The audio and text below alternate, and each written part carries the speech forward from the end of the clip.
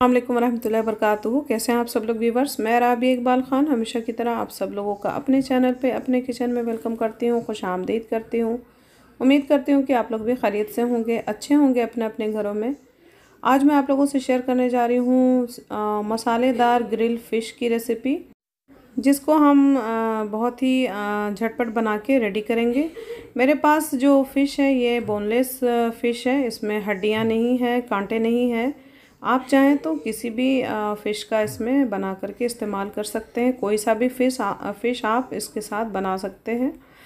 और यहाँ पे आप देख सकते हैं कि इस तरह से मेरे पास बोनलेस फ़िश है। हाफ़ के जी है ये और इसमें कांटे नहीं होते हैं और बहुत ही सॉफ्ट होता है ये।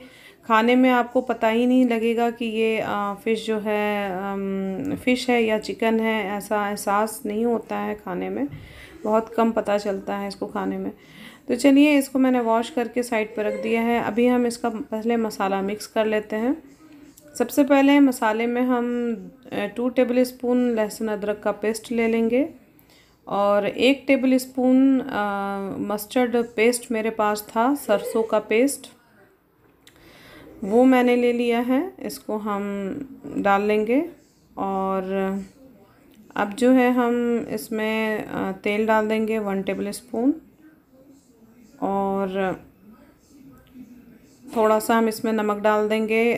वन टीस्पून डालिएगा, ज़्यादा नमक इसमें डालना ठीक नहीं है, हिसाब से डालना है। वन टीस्पून मैंने नमक डाला है।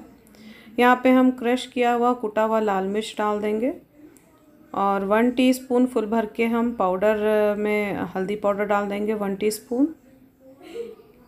ज़ीरा पाउडर डाल देंगे वन टीस्पून।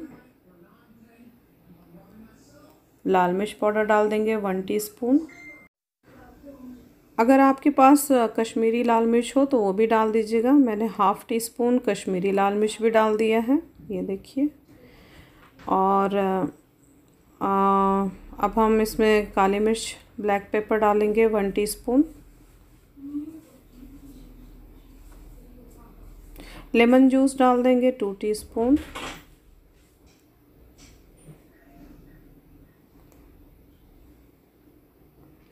लेमन जूस डालना बहुत ज़रूरी है ताकि मसाला जो है वो मछली का जो स्मेल है वो आ, हमें आ, उसे लेमन के जूस से जो है नींबू के रस से उसकी स्मेल कम होती है और बहुत अच्छा होता है लेमन डालने से।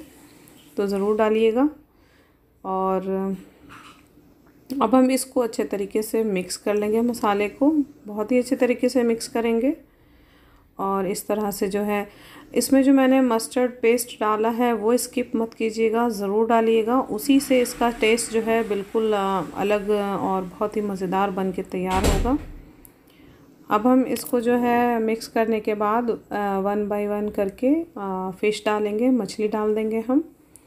और बहुत ही हल्के हाथों से इसमें मसाला लगाना है बहुत ज़्यादा तेज़ मिक्स नहीं करना है नहीं तो ये मछली जो है वो टूट जाएगा।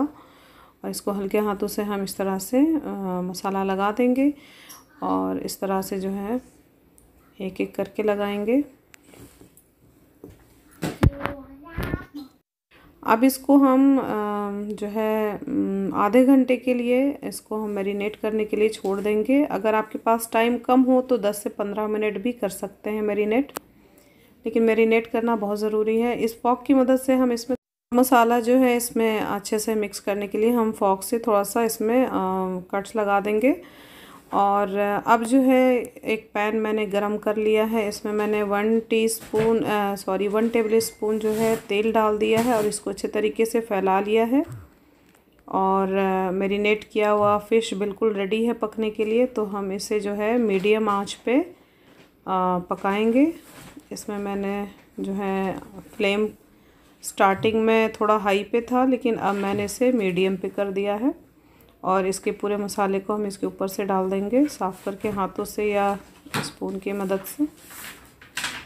और अभी हम इसको ढकना नहीं है।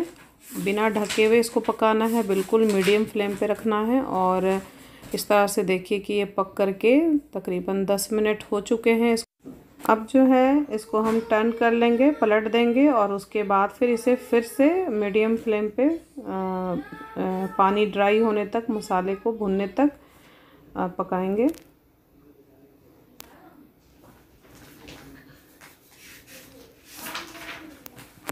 थोड़ा सा हम सलाद जो है वो रेडी कर लेते हैं इसके साथ सर्व करने के लिए। जब तक हमारा ये रेडी हो रहा है। इसको सिर्फ़ दो ही बार पलटना है। एक बार जब नीचे की साइड से हल्का गोल्डन हो जाए तब, और दूसरी बार जब दूसरा दूसरी तरफ़ से गोल्डन हो जाए और इसका पानी बिल्कुल ड्राई हो जाए तब।